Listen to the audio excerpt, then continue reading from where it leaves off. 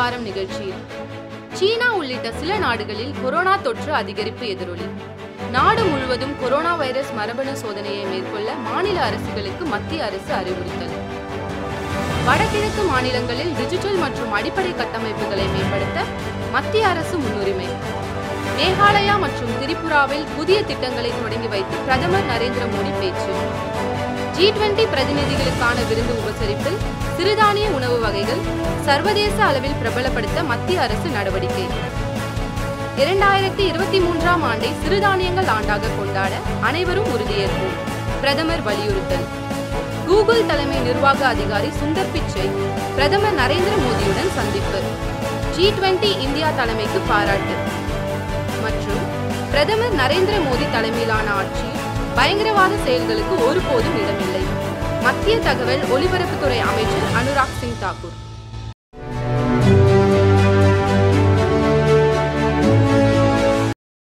அடிப்படை மற்றும் டிஜிட்டல் கட்டமைப்புகளை மேம்படுத்த மத்திய அரசு மிகுந்த முன்னுரிமை அளித்து வருவதாக வடகிழக்கு மாநிலங்களில் பயணம் மேற்கொண்டபோது பிரதமர் நரேந்திர மோடி தெரிவித்துள்ளார்.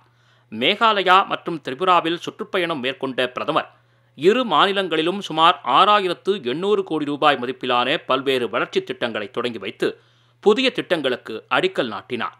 மேகாலயா தலைநகர் ஷில்லாங்கில் நடைபெற்ற நிகழ்ச்சியில் அம்மாநிலத்தில் புதிதாக அமைக்கப்பட்டுள்ள ஃபோர் ஜி அலைக்கற்றை கோபுரங்களை நாட்டிற்கு அவர் அர்ப்பணித்தார்.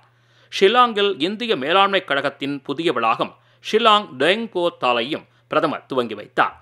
துராவில் அமையவுள்ள மாநாட்டு மையம் ஷில்லாங் தொழில்நுட்ப பூங்காவின் இரண்டாம் கட்ட பணிகளுக்கும் அவர் அடிக்கல் நாட்டினார். நிகழ்ச்சியில் பேசிய பிரதமர் வளர்ச்சியை நோக்கமாக கொண்டு மத்திய அரசு செயல்பட்டு வருவதாக தெரிவித்தார்.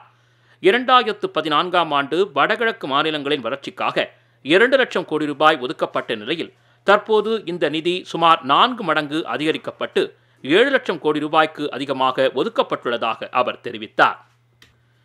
முன்னதாக ஷில்லாங்கில் நடைபெற்ற வடகிழக்கு கவுன்சில் பொன்விழா கூட்டத்தில் பங்கேற்ற பிரதமர் நரேந்திர மோடி கடந்த ஐம்பது ஆண்டுகளில் வடகிழக்கு மாநிலங்களின் வளர்ச்சியில் வடகிழக்கு கவுன்சிலின் பங்களிப்பு என்ற தலைப்பிலான புத்தகத்தை வெளியிட்டார். இந்த நிகழ்ச்சியில் உள்துறை அமைச்சர் அமித்ஷா மேகாலயா முதலமைச்சர் கான்ராட் சங்மா உள்ளிட்டோர் கலந்து கொண்டனர். பின்னர் திரிபுரா தலைநகர் அகர்தலா சென்ற பிரதமர். அம்மாநிலத்தில் செயல்படுத்தப்படவுள்ள நான்காயிரத்து முன்னூற்று ஐம்பது கோடி ரூபாய் மதிப்பிலான திட்டங்களுக்கு அடிக்கல் நாட்டினார். பிரதமரின் வீட்டு வசதி திட்டத்தின் கீழ் இரண்டு லட்சம் பயனாளிகளுக்கு மூன்றாயிரத்து நானூறு கோடி ரூபாய் மதிப்பீட்டில் வீடு கட்டும் திட்டத்தையும் பிரதமர் துவங்கி வைத்தார். இந்நிகழ்ச்சியில் பேசிய பிரதமர் வடகிழக்கு மாநிலங்களில் அடிப்படை மற்றும் டிஜிட்டல் கட்டமைப்புகளை மேம்படுத்த மத்திய அரசு மிகுந்த முன்னுரிமை அளித்து வருவதாக கூறினார். மத்திய மாநில அரசுகளால் மேற்கொள்ளப்படும் வளர்ச்சி திட்டங்களால் திரிபுரா மாநிலம் வளர்ச்சியின் புதிய உச்சத்தை எட்டியிருப்பதாகவும் பிரதமர் குறிப்பிட்டார். வடகிழக்கு மாநிலங்களின் அனைத்து பகுதிகளுக்கும் வளர்ச்சி சென்றடையும் வகையில் பிரதமர் நரேந்திர மோடி தலைமையிலான மத்திய அரசு செயல்பட்டு வருவதாக உள்துறை அமைச்சர் அமித்ஷா கூறியுள்ளார். வடகிழக்கு கவுன்சில் கூட்டத்தின் தலைவரான அமித்ஷா அதன் பொன்விழா ஆண்டு கூட்டத்தில் உரையாற்றினார். கடந்த எட்டாண்டுகளாக இந்த பிராந்தியத்தை மேம்படுத்த மத்திய அரசு எடுத்து வரும் பல்வேறு நடவடிக்கைகளை அவர் பட்டியலிட்டார். ஆயுதப்படையினர் சிறப்பு அதிகாரச் சட்டம் வடகிழக்கு மாநிலங்களின் பெரும்பாலான பகுதிகளில் திரும்பப் பெறப்பட்ட பிறகு அந்த பகுதிகளில் கிளர்ச்சியாளர்களின் நடவடிக்கைகள் பெருமளவு குறைக்கப்பட்டுள்ளதாக அவர் தெரிவித்தார்.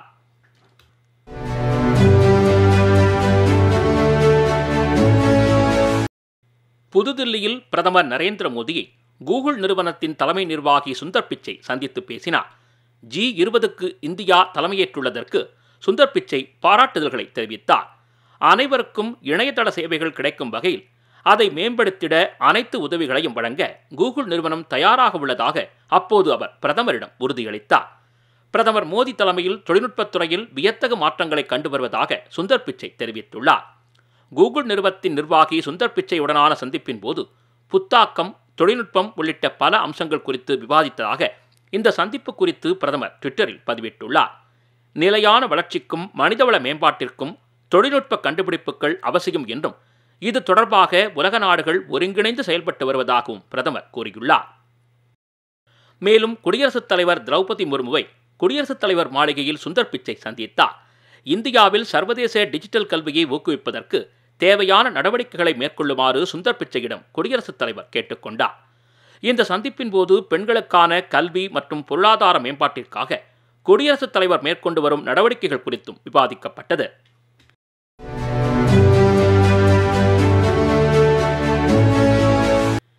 இரண்டாயிரத்து இருபத்தி மூன்றாம் ஆண்டை சிறுதானியங்கள் ஆண்டாக கொண்டாட அனைவரும் உறுதியேற்போம் என்று பிரதமர் நரேந்திர மோடி வலியுறுத்தியுள்ளார். தில்லியில் பிஜேபி நாடாளுமன்ற குழு கூட்டம் டிசம்பர் இருபதாம் தேதி நடைபெற்றது. பிரதமர் நரேந்திர மோடி பாதுகாப்புத்துறை அமைச்சர் ராஜ்நாத் சிங் பிஜேபி தேசிய தலைவர் ஜே பி நட்டா உள்ளிட்டோர் இந்த கூட்டத்தில் கலந்து கொண்டனர். பிரதமர் நரேந்திர மோடியின் முன்னெடுப்பில் இரண்டாயிரத்து இருபத்தி மூன்றாம் ஆண்டை சர்வதேச சிறு தானியங்கள் வருடமாக ஐநா அறிவித்துள்ள நிலையில் அது குறித்து இந்த கூட்டத்தில் விவாதிக்கப்பட்டது. இது தொடர்பாக செய்தியாளர்களுக்கு பேட்டியளித்த நாடாளுமன்ற விவகாரங்கள் துறை அமைச்சர் பிரகல்லாத் சிங் ஜோஷி ஜி இருபது மாநாட்டில் பங்கேற்க வருகை தரும் பிரதிநிதிகளுக்கு இந்திய சிறுதானிய உணவு வகைகளை விருந்தளிக்க திட்டமிட்டிருப்பதாக கூறினார். நாடு முழுவதும் மேற்கொள்ளப்பட்டு வரும் சத்துணவு இயக்கங்களில் சிறுதானிய உணவுகளை சேர்க்க வேண்டும் என்று பிரதமர் கூட்டத்தில் வலியுறுத்தியதாகவும் அமைச்சர் கூறினார். விளையாட்டு வீரர்களுக்கும் சிறுதானியங்களை வழங்கிடவும் பிரதமர் அறிவுறுத்தியதாக அமைச்சர் கூறினார். இதற்கிடையே மத்திய வேளாண் துறை அமைச்சர் நரேந்திர சிங் தோமர் சிறுதானியங்கள் ஆண்டையொட்டி மதிய உணவு விருந்து அளித்தார். இதில் குடியரசு துணைத் தலைவர் ஜெகதீப் தன்கர் பிரதமர் நரேந்திர மோடி பாதுகாப்பு அமைச்சர் ராஜ்நாத் சிங் முன்னாள் பிரதமர் ஹெச் டி தேவகவுடா உள்ளிட்ட நாடாளுமன்ற உறுப்பினர்கள் பலர் கலந்து கொண்டனர். சுமார் நாற்பது நிமிடங்கள் நீடித்த இந்த உணவு விருந்தில் திணை சார்ந்த உணவு வகைகள் பரிமாறப்பட்டன. அவற்றை பிரதமர் ருசித்து சாப்பிட்டார்.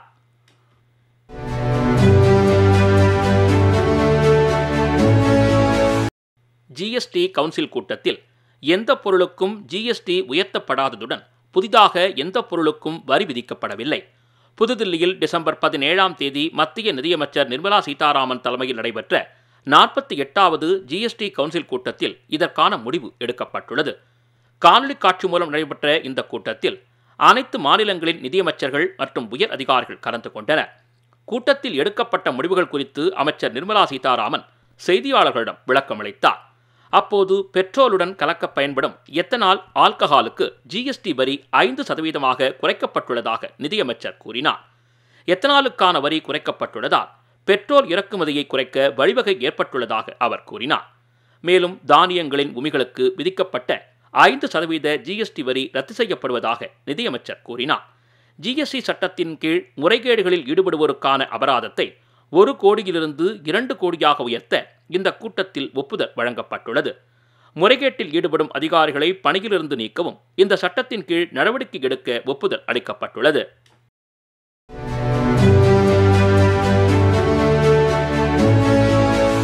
பிரதமர் நரேந்திர மோடி தலைமையிலான ஆட்சியில் பயங்கரவாத செயல்களுக்கு ஒருபோதும் இடமில்லை என்று மத்திய தகவல் ஒலிபரப்புத்துறை அமைச்சர் அனுராக் சிங் தாக்கூர் கூறியுள்ளார். புதுதில்லியில் செய்தியாளர்களை சந்தித்து பேசிய அவர் தீவிரவாதத்தை முற்றிலும் ஒழிப்பதே மத்திய அரசின் நோக்கம் என்று கூறினார். தீவிரவாதத்திற்கு மத்திய அரசு எடுத்து வரும் நடவடிக்கைகள் குறித்து அவர் எடுத்துரைத்தார். சர்ஜிக்கல் தாக்குதல் முதல் பாலக்கோட் தாக்குதல் வரை தீவிரவாதத்திற்கு எதிராக மத்திய அரசு எடுத்த நடவடிக்கைகள் காரணமாக ஜம்மு காஷ்மீரில் தீவிரவாதம் கட்டுப்படுத்தப்பட்டுள்ளதாக கூறினார். தீவிரவாதிகளுக்கு நிதியுதவி வழங்குவதை பாகிஸ்தான் முழுவதுமாக நிறுத்திக் கொள்ள வேண்டும் என்றும் இல்லையென்றால் கடுமையான விளைவுகளை சந்திக்க நேரிடும் என்றும் பிரதமர் வலியுறுத்தி வருவதை அவர் சுட்டிக்காட்டினார். இரண்டாயிரத்து பதினான்காம் ஆண்டிற்கு பிறகு வடகிழக்கு பகுதிகளில் அமைதியான சூழல் ஏற்பட்டுள்ளது என்று குறிப்பிட்ட அமைச்சர். அப்பாவி மக்கள் உயிரிழப்பு எண்பத்து ஒன்பது சதவீதம் குறைந்துள்ளதாகவும் ஆறாயிரத்திற்கும் மேற்பட்ட தீவிரவாதிகள் சரணடைந்துள்ளதாகவும் தெரிவித்தார்.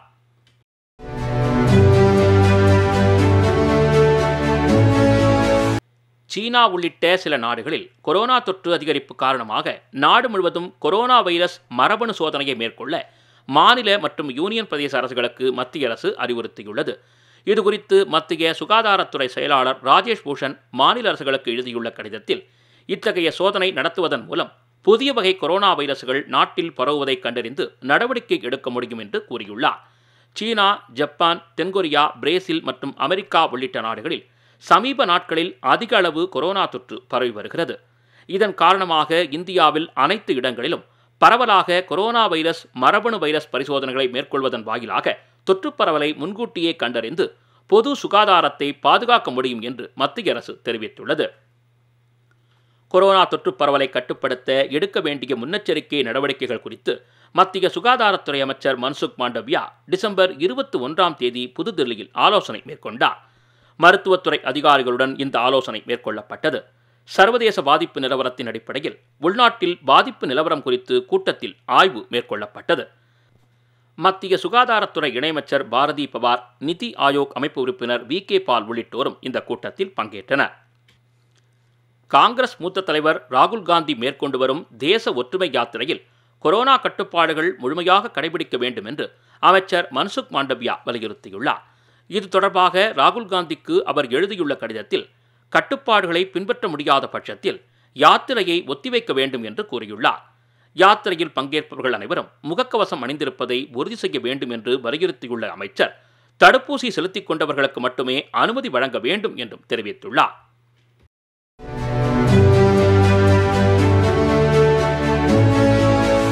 புதிய வகை கொரோனா பரவலை தடுக்க மக்கள் முகக்கவசம் அணிய வேண்டும் என பிரதமர் மோடி அறிவுறுத்தியுள்ளார். உலகளவில் கொரோனாவின் புதிய பிஎஃப் ஏழு வகை வைரஸ் அதிக அளவில் பரவி வரும் நிலையில் இதனை தடுக்க நாட்டில் எடுக்கப்பட வேண்டிய முன்னெச்சரிக்கை நடவடிக்கைகளை குறித்து பிரதமர் நரேந்திர மோடி உயர்மட்ட ஆலோசனை நடத்தினர். கூட்டத்தில் பிரதமர் பேசுகையில் புதிய வகை கொரோனா பரவலை தடுக்க கூட்டம் மிகுந்த இடங்களில் மக்கள் முகக்கவசம் அணிவதை உறுதி செய்ய வேண்டும் என்றும் அத்தியாவசிய மருந்துகளின் இருப்பு மற்றும் விலையை தொடர்ந்து கண்காணிக்கவும் அதிகாரிகளுக்கு அறிவுரை வழங்கினார். இந்த ஆலோசனையில் மத்திய உள்துறை அமைச்சர் அமித்ஷா சுகாதாரத்துறை அமைச்சர் மன்சுக் மாண்டவியா விமான போக்குவரத்து துறை அமைச்சர் ஜோதிர் ஆதித்ய சிந்தியா அமைச்சக செயலாளர் உள்ளிட்ட மூத்த அதிகாரிகள் பங்கேற்றனர்.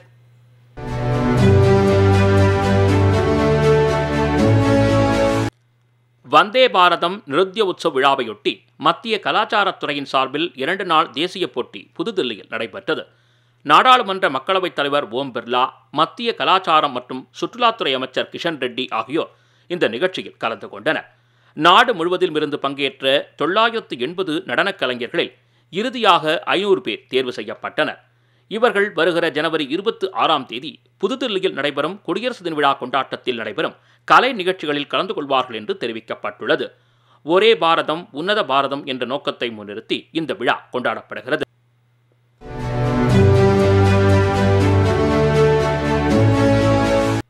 கடந்த ஐந்து நிதியாண்டுகளில் வாராக்கடனாக கருதப்பட்ட ஒரு லட்சத்து முப்பதாயிரம் கோடி ரூபாய் கடனை நாடு முழுவதிலும் உள்ள பொதுத்துறை வங்கிகள் வசூலித்திருப்பதாக மத்திய நிதியமைச்சர் நிர்மலா சீதாராமன் தெரிவித்துள்ளார். இது தொடர்பாக மக்களவையில் இன்றைய கேள்வி நேரத்தின் போது எழுப்பப்பட்ட கேள்விகளுக்கு பதிலளித்த அமைச்சர் பொதுத்துறை வங்கிகள் வராக்கடனை வசூலிக்கும் பணிகளில் தொடர்ந்து ஈடுபட்டு வருவதாகவும் கூறினார். டிஜிட்டல் வர்த்தகம் குறித்து எழுப்பப்பட்ட கேள்விக்கு பதிலளித்த மத்திய நிதித்துறை இணையமைச்சர் பங்கஜ் சௌத்ரி ரிசர்வ் வங்கி மூலம் டிஜிட்டல் வர்த்தகத்தை ஊக்குவிக்க அமைச்சகம் அனைத்து நடவடிக்கைகளையும் மேற்கொண்டு வருவதாக கூறினார். நாடு முழுவதும் கடந்த எட்டாண்டுகளில் விமான நிலையங்களின் எண்ணிக்கை அதிகரிக்கப்பட்டிருப்பதாக சிவில் விமான போக்குவரத்து துறை அமைச்சர் ஜோதிராதித்ய சிந்தியா கூறியுள்ளார். மாநிலங்களவையில் இதுகுறித்து பேசிய அமைச்சர் அடுத்த ஐந்தாண்டுகளில் கூடுதல் விமான நிலையங்கள் ஏற்படுத்தப்படும் என்றும் அமைச்சர் உறுதியளித்தார். விமான நிலையங்களில் பராமரிப்பு பணிகளில் தனியார் பங்களிப்பை ஊக்குவித்து அதன் மூலம் பயணிகளுக்கு சிறப்பான சேவை வழங்க மத்திய அரசு முன்வந்துள்ளதாக அந்த துறையின் இணையமைச்சர் வி. கே. சிங் தெரிவித்துள்ளார். மாநிலங்களவையில் கேள்வி ஒன்றுக்கு எழுத்துப்பூர்வமாக அவர் அளித்துள்ள பதிலில் விமான நிலையங்களை குத்தகைக்கு விடுவதன் மூலம் ஈட்டப்படும் வருவாயை உள்கட்டமைப்பு மற்றும் மேம்பாட்டுப் பணிகளுக்கு பயன்படுத்த மத்திய அரசு திட்டமிட்டுள்ளது என்றார். கோவை மதுரை சென்னை உட்பட நாடு முழுவதும் உள்ள விமான நிலையங்கள் நடப்பாண்டு முதல் இரண்டாயிரத்து இருபத்து ஐந்தாம் ஆண்டு வரை குத்தகைக்கு விடப்பட்டுள்ளதாகவும் அவர் குறிப்பிட்டார். மாநிலங்களவையில் இந்தியா சீனா எல்லை விவகாரம் குறித்து விவாதிக்க காங்கிரஸ் உள்ளிட்ட எதிர்க்கட்சி உறுப்பினர்கள் வலியுறுத்தினர். எதிர்க்கட்சித் தலைவர் மல்லிகார்ஜுன கார்கே இந்த விவகாரம் முக்கியத்துவம் வாய்ந்தது என்றும் அவையில் விவாதிக்கப்பட வேண்டும் என்றும் தெரிவித்தார். இதற்கு எதிர்ப்பு தெரிவித்த மத்திய அமைச்சர் பியூஷ் கோயல் காங்கிரஸ் ஆட்சி காலத்தில் தான் சீனா தொடர்ந்து அத்துமீறலில் ஈடுபட்டு வந்ததாக குற்றம் சாட்டினார்.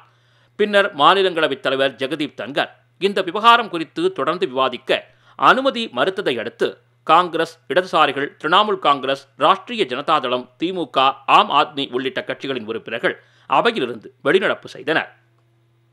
நாட்டின் பாதுகாப்பில் ஈடுபட்டுள்ள இராணுவ வீரர்களை நேரடியாகவோ மறைமுகமாகவோ யாரும் விமர்சனம் செய்யக்கூடாது என்று மத்திய வெளியுறவுத்துறை அமைச்சர் ஜெய்சங்கர் தெரிவித்துள்ளார். மக்களவையில் பேசிய அவர் கடல் மட்டத்திலிருந்து முப்பதாயிரம் அடி உயரத்தில் இராணுவ வீரர்கள் பாதுகாப்பு பணியில் ஈடுபட்டுள்ளதாக கூறினார். இதனால் இராணுவ வீரர்கள் மரியாதைக்கும் மதிப்புக்கும் உரியவர்கள் என்று குறிப்பிட்டார். அனைவருக்கும் தூய குடிநீர் கிடைக்கும் வகையில் ஜல்ஜீவன் திட்ட செயல்பாட்டிற்கு மாநிலங்களுக்கு அனைத்து தொழில்நுட்பம் மற்றும் நிதியுதவிகளை மத்திய அரசு அளித்து வருவதாக ஜல்சக்தித்துறை இணையமைச்சர் பிரகலாத் சிங் பட்டேல் தெரிவித்துள்ளார்.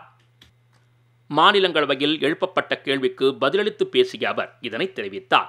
இந்த திட்டத்தின் கீழ் கிராமப்புறங்களில் இதுவரை ஏழு கோடியே நாற்பத்தி எட்டு லட்சம் வீடுகளுக்கு குழாய் மூலம் குடிநீர் இணைப்புகள் வழங்கப்பட்டுள்ளதாகவும் அவர் கூறினார். தமிழகத்தில் இதுவரை ஒரு கோடியே இருபத்து ஐந்து லட்சம் வீடுகளுக்கு குடிநீர் இணைப்புகள் வழங்கப்பட்டுள்ளதாகவும் அமைச்சர் கூறியுள்ளார். மாநிலங்கள் மற்றும் யூனியன் பிரதேசங்களுக்கு ஜிஎஸ்டி இழப்பீடு தொகையாக ஒரு லட்சத்து பதினைந்தாயிரம் கோடி ரூபாய் நடப்பு நிதியாண்டில் விடுவிக்கப்பட்டுள்ளதாக மத்திய நிதியமைச்சர் நிர்மலா சீதாராமன் தெரிவித்துள்ளார்.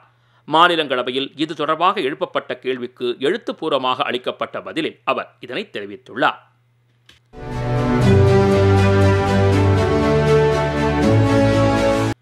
நாட்டில் ஒட்டுமொத்த நேரடி வரி வசூல் நடப்பு நிதியாண்டில் இருபத்து ஐந்து சதவீதம் அதிகரித்துள்ளதாக மத்திய அரசு தெரிவித்துள்ளது. இதுகுறித்து மத்திய நிதியமைச்சகம் வெளியிட்டுள்ள அறிக்கையின்படி நடப்பு நிதியாண்டில் இதுவரை பதிமூன்று லட்சத்து அறுபத்து மூன்றாயிரத்து அறுநூற்று நாற்பத்து ஒன்பது கோடி ரூபாய் அளவுக்கு ஒட்டுமொத்த நேரடி வரி வசூலிக்கப்பட்டுள்ளதாக தெரிவிக்கப்பட்டுள்ளது. இது கடந்த நிதியாண்டின் இதே காலகட்டத்தை விட இருபத்தி ஐந்து புள்ளி ஒன்பது பூஜ்ஜியம் சதவீதம் அதிகம் என்று குறிப்பிடப்பட்டுள்ளது. நிகர நேரடி வரி வசூல் பத்தொன்பது புள்ளி எட்டு ஒன்று சதவீதமும் முன்கூட்டியே வரி வசூல் பனிரெண்டு புள்ளி எட்டு மூன்று சதவீதமும் அதிகரித்துள்ளதாக தெரிவிக்கப்பட்டுள்ளது. நடப்பு நிதியாண்டில் வருமான வரி கணக்குகளை மதிப்பீடு செய்யும் பணியின் வேகம் அதிகரித்துள்ளதாகவும் வரியை திரும்ப வழங்கும் அளவு நூற்று ஒன்பது சதவீதம் அதிகரித்துள்ளதாகவும் மத்திய நிதியமைச்சகம் தெரிவித்துள்ளது.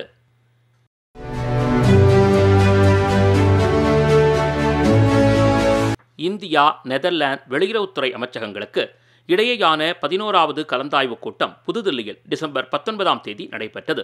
இந்த கூட்டத்தில் இரு நாடுகளுக்கும் இடையிலான இருதரப்பு உறவை மேம்படுத்துவது குறித்தும் தண்ணீர் விவசாயம் சுகாதாரம் அறிவியல் தொழில்நுட்பம் பருவநிலை மாற்ற புத்தாக்க முயற்சிகள் மரபுசாரா எரிபொருள் தொழில்நுட்பம் போன்ற விஷயங்கள் குறித்தும் ஆலோசிக்கப்பட்டதாக செய்திக்குறிப்பில் கூறப்பட்டுள்ளது.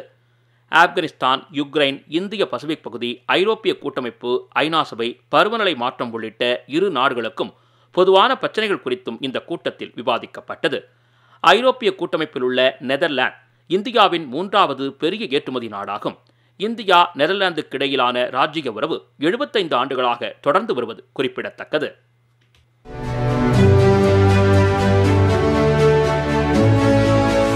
இந்தியாவை உள்நாட்டிலேயே கப்பல் கட்டும் மையமாக மாற்றுவதே மத்திய அரசின் நோக்கம் என்று பாதுகாப்புத்துறை அமைச்சர் ராஜ்நாத் சிங் தெரிவித்துள்ளார்.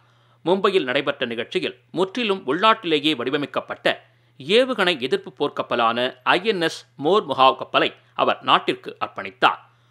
விழாவில் பேசிய அமைச்சர் இந்தியாவில் தயாரிக்கப்பட்ட போர்க்கப்பல்களில் மிகவும் சக்தி வாய்ந்த கப்பல்களில் ஒன்றாக மோர் முகாவ் திகழும் என்றார். நாட்டின் கடற்படை வல்லமையை சர்வதேச அளவில் மேம்படுத்துவதற்கு உதவும் வகையில் அதிநவீன ஏவுகணை அழிப்பு தொழில்நுட்பங்களோடு இந்த கப்பல் வடிவமைக்கப்பட்டுள்ளதாக அமைச்சர் தெரிவித்தார். எதிர்கால பாதுகாப்பு தேவைகளை கருத்தில் கொண்டு இந்த கப்பல் தயாரிக்கப்பட்டுள்ளதாகவும் கப்பல் வடிவமைப்பிற்கு முன்னுதாரணமாக இது திகழும் என்றும் அமைச்சர் கூறினார். கப்பல் கட்டும் பணியில் இந்தியா சர்வதேச அளவில் முன்னேறுவதற்கு இது உதவும் என்றும் அவர் குறிப்பிட்டார். நிகழ்ச்சியில் பேசிய கடற்படை தளபதி அட்மிரல் ஹரிகுமார் போர்க்கப்பல் தயாரிப்பில் இந்தியா அதிக நிபுணத்துவம் பெற்றிருப்பதாக கூறினார். கோவா ஆளுநர் சீதரன் பிள்ளை முதலமைச்சர் பிரமோத் சாவந்த் முப்படைகளின் தளபதி ஜெனரல் அனில் சௌஹான் உள்ளிட்டோர் விழாவில் கலந்து கொண்டனர்.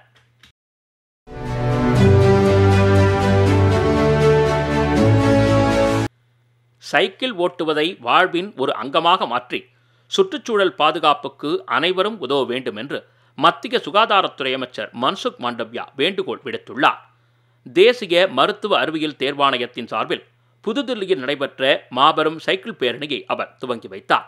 பின்னர் செய்தியாளர்களிடம் பேசிய அவர் காற்று மாசுபாடு இல்லாத வாகனமாக சைக்கிள் இருப்பதாகவும் சுற்றுச்சூழலை பாதுகாப்பதில் முக்கிய பங்காற்றும் சைக்கிளை பல்வேறு நாடுகள் அதிக அளவில் பயன்படுத்தி வருவதாக கூறினார். உடற்பயிற்சி மூலம் உடல் ஆரோக்கியத்தையும் மன வலிமையையும் பெறுவோம் என்பதை உணர்ந்து கொள்ள வேண்டும் என்றும் அவர் குறிப்பிட்டார். இந்த மாபெரும் சைக்கிள் பேரணியில் ஆறு முதல் அறுபது வயதை கடந்தவர்கள் என பலரும் ஆர்வத்தோடு கலந்து கொண்டனர். சிறுமி ஒருவர் குழந்தைகளுக்கான சைக்கிளை ஆர்வத்துடன் ஓட்டியது அனைவரையும் கவர்ந்தது.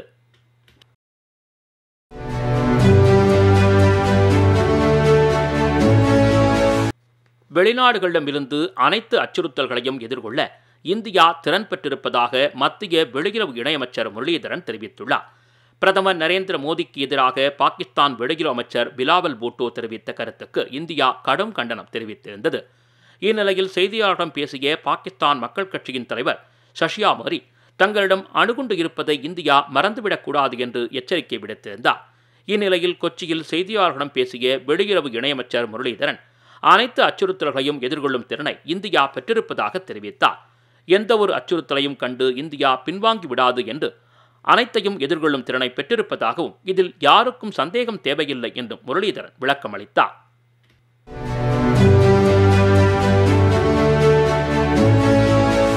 வரும் ஆண்டில் ஜி இருபது அமைப்பில் மிகப்பெரிய பொருளாதாரத்தை கொண்ட நாடாக இந்தியா திகழும் என்று தலைமை பொருளாதார ஆலோசகர் அனந்த நாகேஸ்வரன் தெரிவித்துள்ளார். ஜி இருபது அமைப்புக்கு இந்தியா தலைமைத்துவம் ஏற்றுள்ள நிலையில் உச்சிமாநாட்டில் பொருளாதார முன்னெடுப்புகள் தொடர்பான கூட்டம் டிசம்பர் இருபதாம் தேதி நடைபெற்றது. இதுகுறித்து செய்தியாளர்களுக்கு பேட்டியளித்த அனந்த நாகேஸ்வரன் சர்வதேச அளவில் பொருளாதாரத்தில் மந்தநிலை நிலவினாலும் இந்திய பொருளாதாரம் உயர்வு காணும் என்று நம்பிக்கை தெரிவித்தார்.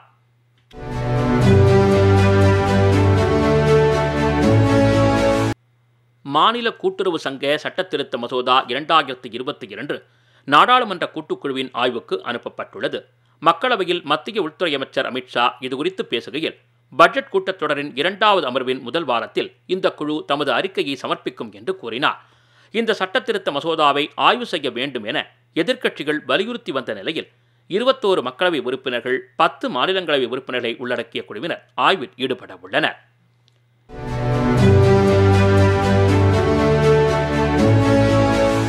ஜி இருபது அமைப்பின் அர்பன் இருபது மாநாட்டிற்கான சின்னம் இணையதளம் மற்றும் சமூக வலைத்தளங்களை குஜராத் முதலமைச்சர் பூபேந்திர பட்டேல் தொடங்கி வைத்தார்.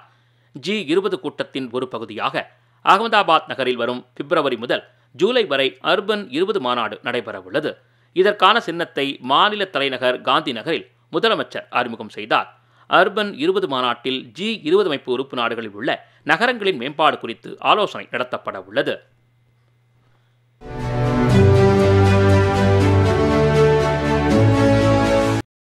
ஜம்மு காஷ்மீரில் தடை செய்யப்பட்ட தீவிரவாத அமைப்பைச் சேர்ந்த மூன்று பேர் பாதுகாப்பு படையினரால் சுட்டுக் கொல்லப்பட்டனர். சோஃபியான் மாவட்டத்தில் உள்ள முன்ஷ்மார் கிராமத்தில் தீவிரவாதிகள் பதுங்கியிருப்பதாக பாதுகாப்பு படையினருக்கு தகவல் கிடைத்தது. இதனையடுத்து பாதுகாப்பு வீரர்கள் மேற்கொண்ட தேடுதல் வேட்டையில் மூன்று பேர் சுட்டுக் கொல்லப்பட்டனர். அவர்களிடமிருந்து இரண்டு கைத்துப்பாக்கிகள் கைப்பற்றப்பட்டன.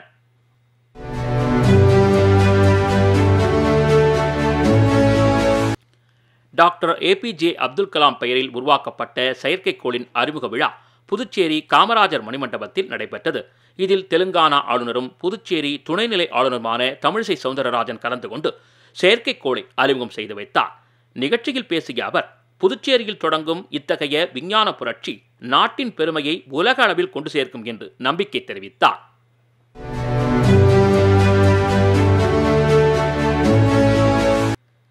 சிறப்பு செயல் திட்டமாக தேசிய நில விற்பனை கழகத்தை அமைப்பதற்கு மத்திய அமைச்சரவை ஒப்புதல் அளித்துள்ளது.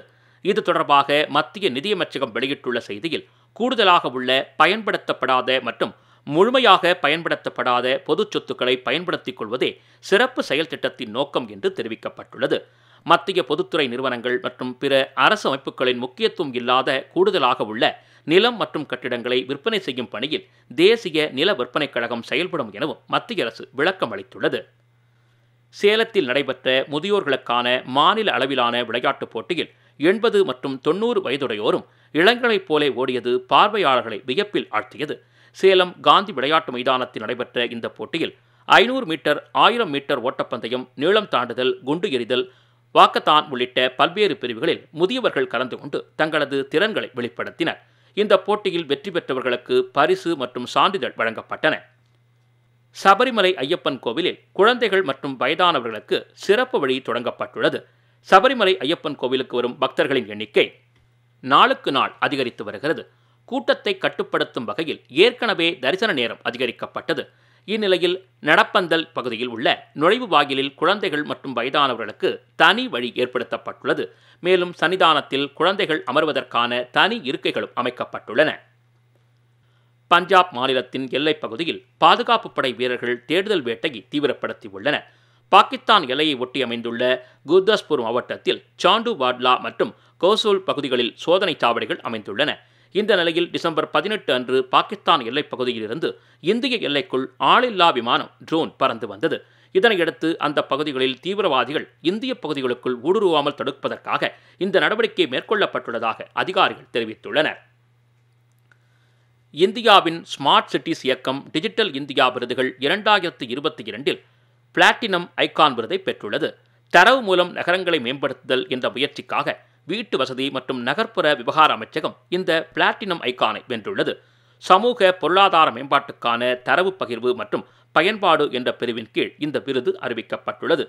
நாடு முழுவதும் நூறு நகரங்கள் முதற்கட்டமாக ஸ்மார்ட் சிட்டி திட்டத்தின் கீழ் நவீனப்படுத்தப்பட உள்ளன இந்தியா மாலத்தீவுகளுக்கு இடையிலான ஆறாவது கூட்டுப் பணியாளர்கள் பேச்சுவார்த்தை புதுதில்லியில் நடைபெற்றது.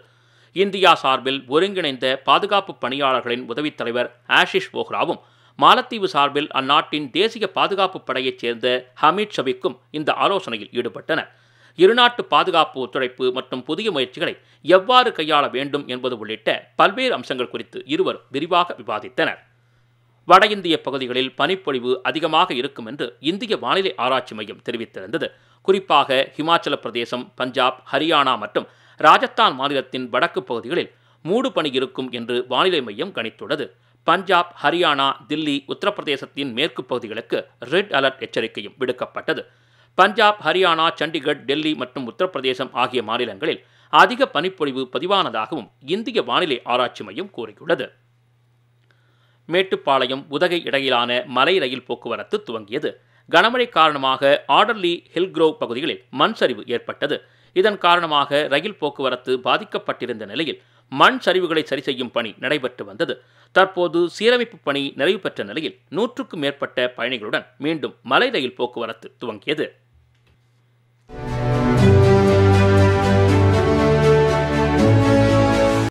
சென்னை ராஜாஜி சாலையில் உள்ள சுங்க இல்லத்தில் புதிதாக கட்டப்பட உள்ள அலுவலக வளாகத்திற்கு மத்திய நிதியமைச்சர் நிர்மலா சீதாராமன் அடிக்கல் நாட்டி அந்த வளாகத்தில் மரக்கன்று ஒன்றையும் நட்டு வைத்தார் நிகழ்ச்சியில் பேசிய நிதியமைச்சர் சுங்க அனுமதி பெறும் நடைமுறைகள் அனைத்தையும் ஒரே இடத்தில் எளிமையாக பெற புதிதாக அமையவுள்ள கட்டிடம் உதவும் என்று தெரிவித்தார்.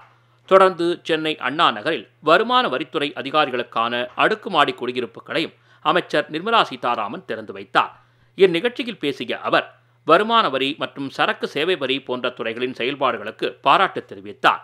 வரி செலுத்துவோரின் எண்ணிக்கையை அதிகரிக்க நடவடிக்கைகள் எடுக்கப்பட வேண்டும் என்று அவர் கேட்டுக்கொண்டார்.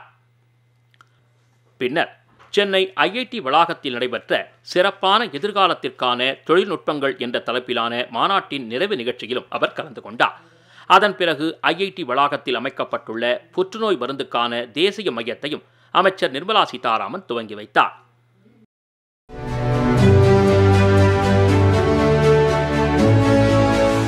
குடிமைப்பணி தேர்வுகளை எழுதுவோர் இளம் வயதிலேயே தேர்ச்சி பெற கடின முயற்சி எடுக்க வேண்டும் என்று ஆளுநர் ஆர் என் ரவி கேட்டுக்கொண்டுள்ளார். சென்னை ஆளுநர் மாளிகையில் குடிமைப்பணி தேர்வு எழுதும் மாணவர்களுடன் கலந்துரையாடிய ஆளுநர் மனச்சோர்வுகளை எதிர்கொண்டு இலக்கை அடையும் நோக்கோடு குடிமைப்பணிகளுக்கு தங்களை தயார்படுத்திக் கொள்ள வேண்டும் என்று போட்டித் தேர்வர்களை அவர் கேட்டுக்கொண்டார் தொடர்ந்து முயற்சிகளை மேற்கொள்வதன் மூலம் வெற்றி இலக்கை எளிதில் அடைய முடியும் என்றும் ஆளுநர் தெரிவித்தார். தமிழ்நாடு முழுவதும் அரசு பள்ளிகளை மேம்படுத்துவதற்காக துவங்கப்பட்டுள்ள நம்ம ஸ்கூல் என்னும் புதிய திட்டத்திற்கு நிதி வழங்கலாம் என்று பொதுமக்களை முதலமைச்சர் மு ஸ்டாலின் கேட்டுக்கொண்டுள்ளார் தமிழகத்தில் இயங்கி வரும் சுமார் முப்பத்தி இரண்டாயிரத்திற்கும் மேற்பட்ட அரசு பள்ளிகளில் அடிப்படை வசதிகள் உள்ளிட்ட பல்வேறு வசதிகளை மேம்படுத்தி தனியார் பள்ளிகளுக்கு நிகரான பள்ளிகளாக மாற்றும் முயற்சியை பள்ளிக் கல்வித்துறை எடுத்து வருகிறது. அரசின் பங்களிப்பு மட்டுமல்லாது தனியார் பங்களிப்பையும் இணைத்து இந்த திட்டத்தை செயல்படுத்த முடிவு செய்யப்பட்டது. இந்த நிலையில் சென்னை கிண்டியில் அரசு பள்ளிகளை தத்தெடுக்கும் வகையில் தமிழக அரசின் நம்ம ஸ்கூல் திட்டத்தை முதலமைச்சர் மு ஸ்டாலின் டிசம்பர் பத்தொன்பதாம் தேதி துவங்கி வைத்தார்.